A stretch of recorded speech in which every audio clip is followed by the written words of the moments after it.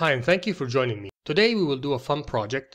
We will join a Linux machine to our domain controller in less than 5 minutes. I will be using Linux Debian 11 for this, so the requirement to follow along this session is to have a Debian or Ubuntu machine and a Windows domain controller ready to go and of course both needs to be able to contact each other, i.e. on the same subnet or on a different subnet with the proper routing in place. I will leave a link in the description for an article that includes all the command in case you are unable to see one or two commands on the screen, as well as a link to download Debian. The article uses Ubuntu, but it's almost the same thing.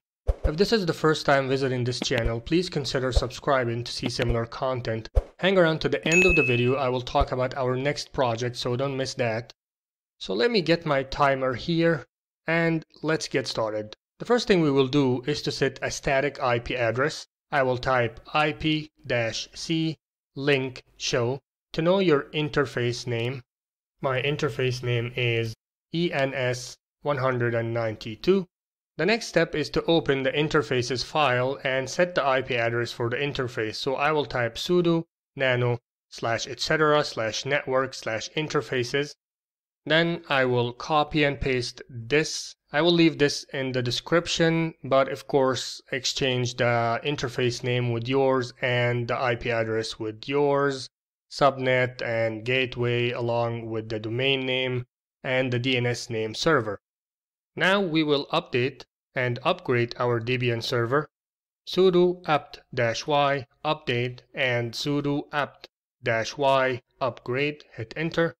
The next step is to install SSH because it will be used to communicate with our domain controller. Simply type sudo apt-y install SSH. Now that this is done, let's point our Linux VM to use the domain controller as a DNS server. For this, we can change our resolv.conf file. The file, however, is managed by the system, so it can revert back to the default DNS server. To fix this, we will delete the file, recreate it, change the name server and make it read-only.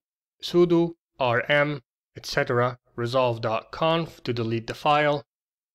Then sudo nano etc resolv.conf to create the file. I will type name server and the IP address of my domain controller slash DNS server is 10 10 10 101.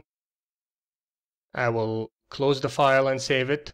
The next step, we will limit access to this file by typing sudo chattr plus i to give it the i flag, etc. resolv.conf.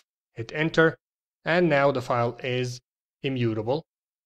Now let's change the hosts file as well. We will type sudo nano etc. hosts. Hit enter. We will type our IP address here, then Debian, which is the name of the server, then we will type the fully qualified domain name, including my domain name.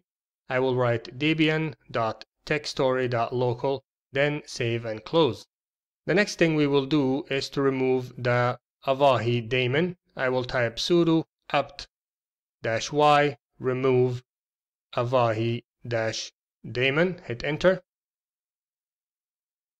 Now let's install PowerBroker Identity Services. I will type wget and then the URL to the file I'm downloading. My Linux is 86 underscore 64. You can check yours by typing arch, A-R-C-H, hit enter in the terminal, and download the appropriate version. I will leave the link in the description. Now that we have downloaded the file, let's add an execute flag to this file to be able to run it. I will type sudo chmod plus x and the name of the file. Now let's execute the file. I will type dot slash and the name of the file, then hit enter. Now let's join the domain. It is as simple as that. Type sudo domain join dash CLI join and followed by the domain name. I will enter the username I will be using, which is administrator at techstory.local then the password for this user and hit enter. Now let's test this and see if it's working. We're gonna type sudo domain join dash CLI space query. and you should get a similar response with information from your own domain controller. And that's it, we have officially joined the domain with time to spare. If you're using Ubuntu, then continue the rest of the steps with the article to edit the welcome screen to be able to enter the username. Otherwise, let's restart our system and try to log in. Now I will type the domain username, which is techstory backslash administrator, and my password. Hit enter. Great news! We can now log in with any user from our domain controller. Now if we want to automatically create a home folder for any user that logs in, let's type sudo pam-auth-update, then choose create home folder on login and hit OK. And that's it with time to spare. I love how easy and simple this is. If you have been using Linux for a long time, you can remember this process used to take more time to put together different pieces of the puzzle, not to mention the troubleshooting afterwards. Now, it could not be simpler. Well, it could be simpler, but in comparison, I think it's very smooth.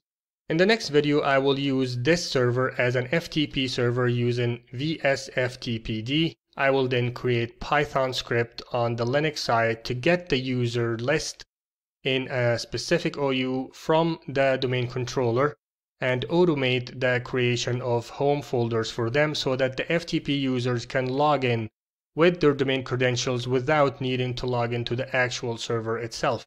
And I will explain why in the next video. Thank you so much for staying to the end of the video. I hope this has been fun and useful for you. If you run into problems, please let me know in the comments below and I will do my best to help.